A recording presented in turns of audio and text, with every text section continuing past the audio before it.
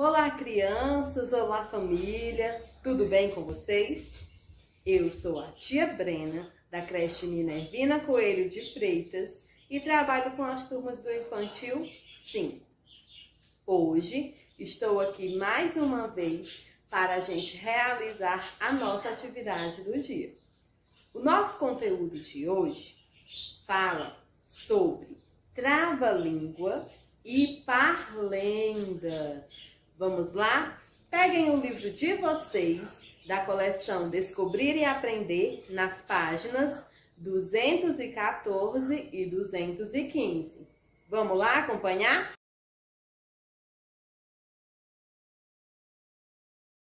Assim, um prato de trigo para um tigre triste. Dois pratos de trigo para dois tigres tristes. Três pratos de trigo para três tigres tristes. Essa é a nossa trava-língua de hoje. Será que vocês conseguem falar? Vamos citar mais uma vez junto com a tia Brena. Ó, um prato de trigo para um tigre triste.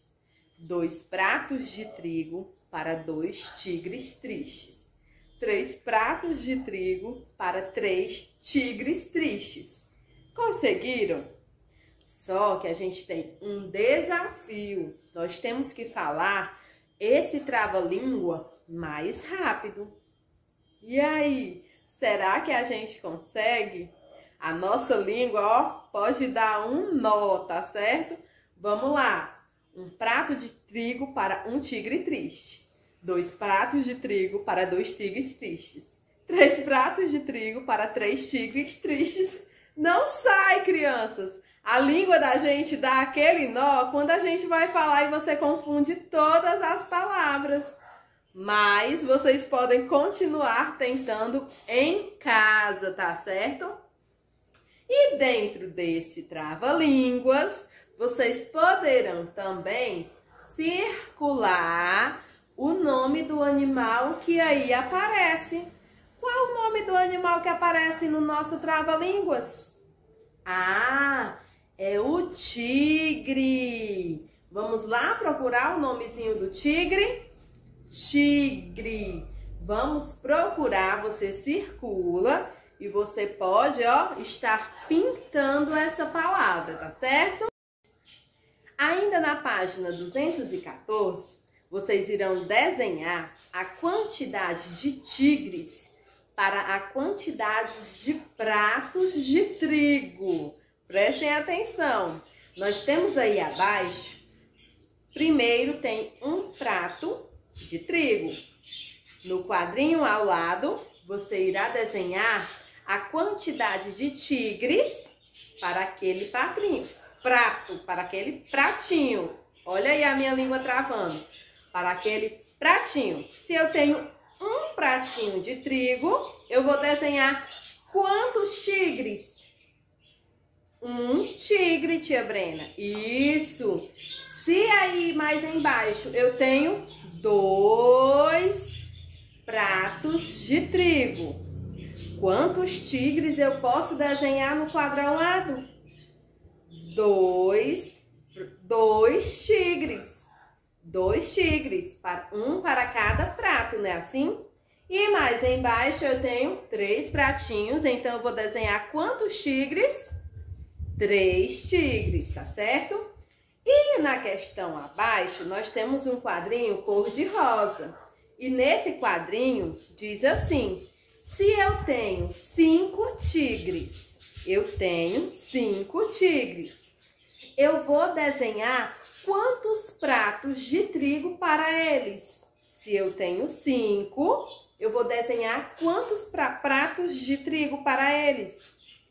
Isso, eu vou desenhar cinco, porque é um prato para cada tigre. Então, vocês irão desenhar aí embaixo, nesse quadrinho rosa, cinco pratos de trigo, tá certo?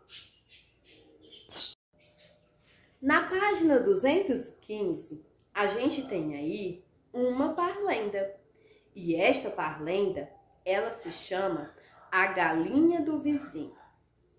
E ela diz assim: a galinha do vizinho bota ovo amarelinho.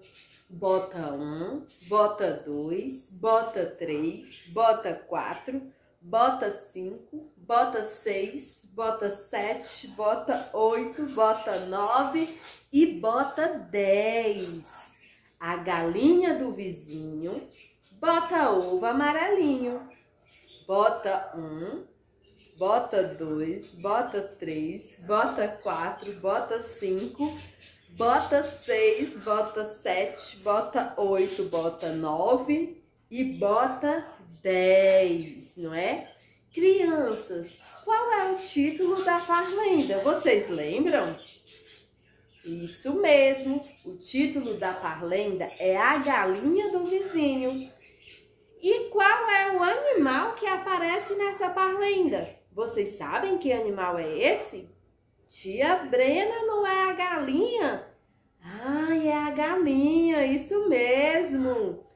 E vocês sabem qual é a cor do ovo que a galinha coloca? Vocês sabem? Será que é rosa? Será que é roxo?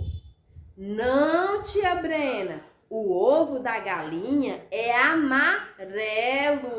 É amarelo, muito bem. Agora, crianças, na questão abaixo, vocês irão é, completar a sequência numérica. Como assim, tia Brena? Aí ao lado tem a galinha e ela precisa achar o ninho de ovos dela. Então, vocês irão preenchendo o caminho. No caminho tem muitos ovinhos, não é? Ó, dentro de cada ovinho você irá colocar o número seguinte. Nós temos aí o número 1. Um. Depois do número 1, um, quem é? O número 2. E depois do 2? O número 3. Então, vocês irão escrevendo, registrando os números dentro de cada ovinho deste até a galinha conseguir achar o seu ninho, tá certo? Bom, crianças, essa é a nossa atividade de hoje. Espero que vocês tenham gostado. É, eu amei estar aqui com vocês novamente. Foi um prazer.